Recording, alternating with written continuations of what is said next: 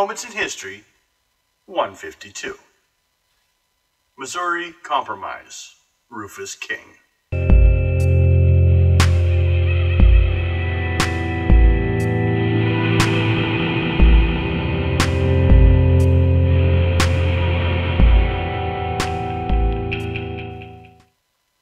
Everything seemed peaceful to the Republican administration of Monroe, the fifth held by the Virginia dynasty of Jefferson, Madison, and Monroe, until the suggestion was made that slavery be barred from the proposed state of Missouri.